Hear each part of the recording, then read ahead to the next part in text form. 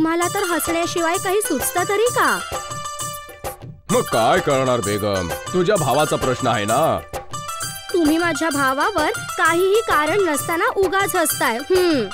नाही ग बेगम साहेबा.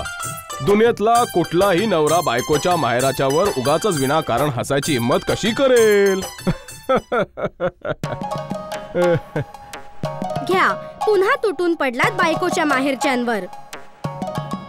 तसं काही नाही बेगम साहिबा. प्रश्न फक्त आमच्या मेवण्याच्या हुशारीचा आहे. तुम्हाला त्याच्या हुशारीबद्दल शंका का वाटते? माझा भाऊ तर लहानपणापासूनच हुशार आहे कळलं? हम्म दिवसे दिवस त्याची हुशारी वाढतच चालली आहे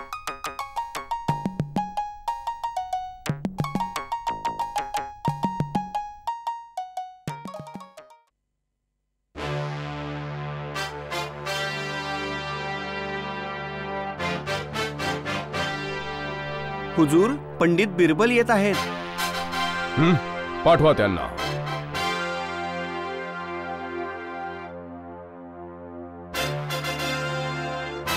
माफ़ी असावी जहापना.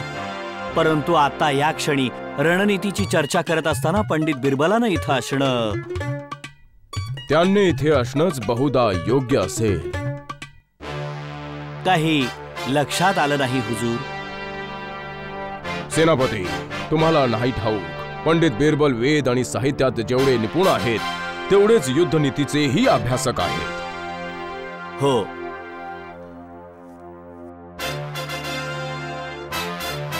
त्यांच्याबरोबर चर्चा करताना मला बऱ्याचदा ह्या गोष्टीचा अनुभव झाला आहे. त्यांनी ठरवलं तर सैन्यातही त्यांचं स्थान ते मिळवू शकतात. बादशाह सलामतांचा विजय असो. मी आपल्या चर्चेत व्यत्यय तर नाही ना आणला हुजूर? नाही बिरबल. खरं म्हटलं तर. या चर्चेत आम्हाला तुमचीच गरज आहे. हुकूम करा हुजूर. माझं संपूर्ण जीवन तुमच्याच सेवेसाठी आहे हुजूर. आम्ही राजा महेंद्र सिंगशी युद्धाबाबत विचार करतो आहे. राजा महेंद्र सिंग? पण ते तर आपल्याच छत्राखाली आहेत. हो पण ते त्यांच्या हद्दीत स्वतःच वर्चस्व गाजवतायत आणि आम्ही तर हेही ऐकलंय की हळूहळू ते दुसऱ्याच्या शरणामध्ये जाणार आहेत. हम्म. त्याला तर धडा शिकवावाच लागेल. काही सुचत नाही. गुस्ताखी माफ असावी हुजूर. पण माझ्या मते आपण त्यांच्याबरोबर युद्ध करायचा विचार करू नये हुजूर. हे काय बोलताय तुम्ही? जहापना मी तुम्हाला बोललो होतो की पंडितजी फक्त का बिरबल? तुम्हाला असं का वाटतंय? हुजूर राजा महेंद्र सिंग अजून तुम्हालाच शरण आहेत. आणि अजून त्यांनी तुमच्या विरोधात एकदाही पाऊल टाकलेलं नाही. तुम्ही नुसतंच कुणाकडून ऐकून असं युद्धाबद्दल बोलणं जहापना हा आमचा अपमान आहे. नाहीतर आम्ही असं कुणाच्याही बोलण्यावर विश्वास ठेवू का? माफी असावी सेनापती. पण राजा महेंद्र सिंह तसे नाही आहेत जसा तुम्ही विचार करताय. जहापना आता पंडितजी आपल्यालाच राजकारणातल्या गोष्टी शिकू लागलेत. काय ते स्पष्ट करून सांग बिरबल हुजूर लहान सहान गोष्टींवरून शरणार्थी राजांवर हल्ला करणं शहेनशाह अकबरांच्या प्रतिष्ठेला शोभत नाही. आणि जर तसं झालं तर छोटे छोटे अनेक राजे एकत्र येऊन आपल्या विरुद्धच कारस्थान करतील हुजूर. जहापनांविरुद्ध कारस्थान करण्याची हिंमत कोण बरं करू शकेल? हा हिंदुस्थान आहे सेनापतीजी. एखाद्या वळणावर कुणीही वाट चुकू शकतं पण जर त्याचा स्वाभिमान जागृत झाला तर तो काहीही करू शकतो. महेंद्र सिंगांचा सुप्त स्वाभिमान सम्राट अकबरांना का जागृत करायचा आहे? कदाचित तू योग्य बोलतोयस बिरबल. हुजूर बिरबल नेहमी योग्यच बोलतो. मी बोललो होतो ना सेनापती. पंडित बिरबल राजनीतीमध्ये सुद्धा माहीर आहे. हो. तू माझ्या मनावरचं बोझ हलकं केलंस बिरबल. खाविंदांची सेवा करणंच माझं कर्तव्य आहे. बिरबल आज मी तुला दहा गाव जागीर म्हणून देणार आहे. खूपच खुश झालो मी तुझ्यावर. धन्यवाद हुजूर।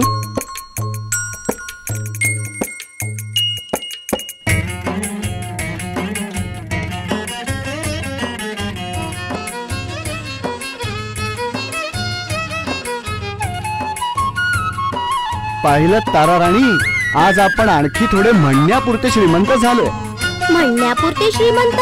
म्हणजे? आज बादशाहांनी मला दहा गावं जहागीर म्हणून दिली आहेत. अरे वा म्हणजे घोषणा तर केली आहे आता प्रश्न आहे ती वास्तवात कधी मिळतील ह्याचा? हम्म, तेही खरंय म्हणा. तुमच्या बादशानी तुम्हाला आजपर्यंत बरंच काही देण्याचं कबूल तर केलंय पण दिलं काहीच नाही. म्हणूनच तर मी म्हणालो की आज आपण आणखी थोडे म्हणण्यापुरते श्रीमंत झालोय. तुम्ही बादशहांशी काही बोलत का काय नाही? बोलायचं? हेच आजपर्यंतच्या बक्षिसांबद्दल. मी हे त्यांच्याशी कसं बोलणार? सांग पाहू. ते स्वतःच देणार म्हणालेत पण मग देत का नाहीत ते तर बरोबर आहे पण मी मी कसं काय बोलणार? शेवटी ते तर शहनशाह आहेत. पण कधी ना कधीतरी संधी मिळेलच मला. मी त्याच संधीची वाट पाहतोय आता.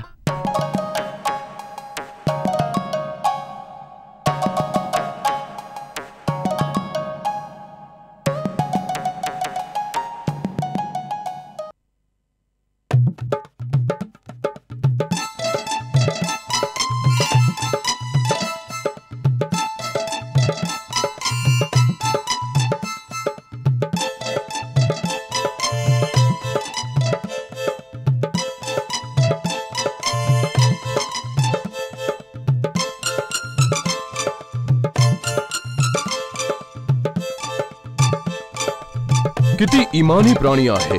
एवढं ओझं उचलूनही अजिबात तक्रार नाही. हा काही बिचारे असेच असतात. कितीही ओझं उचललं तरी काहीही बोलत नाही. हा बिरबल बऱ्याच दिवसांनी मला एक प्रश्न फार सतवतोय कोणता हुजूर? या उंटाची मान अशी वाकडी तिकडी का असते? हम्म, बेटा बिरबल कदाचित हीच वेळ आहे. बादशहाला त्यांनी दिलेल्या बक्षिसांची आठवण करून द्यायची. चला चला पुढे सरका. बिरबल तू गप्प का झालास? काही नाही. मी तर ती गोष्ट आठवतोय जी मी पूर्वी ऐकली होती. गोष्ट? उंटाच्या उंटाच्या वाकड्या तिकड्या मानेबद्दल एका शापाची गोष्ट? अरे उंटाला का कोणी श्राप देईल का? अहो उंट सुद्धा काही काळापूर्वी मनुष्यच होते हुजूर. त्यांच्यातल्याच एका मानवाने एका योगी पुरुषाला काहीतरी द्यायचं कबूल केलं होतं. पण तो मनुष्य त्याच्या व्यस्त कारभारामुळे ते द्यायला विसरूनच गेला. त्यामुळे क्रोधित होऊन त्या योग्याने त्या मानवाला शाप दिला. आणि तो मानव उंट बनला. हे आत्ताचे उंट म्हणजे पूर्वीचे मानवच आहेत. काय सांगतोस तू हे बिरबल? खरंच का? अगदी अगदी खरंय. वचन न पाळण्याची एवढी मोठी किंमत त्या बिचाऱ्याला मोजावी लागली, हुजूर. मला तर त्या सगळ्या उंटांची दया येते, हो. हुजूर, देवाने कुणालाही अशा प्रकारची शिक्षा देऊ नये बघा.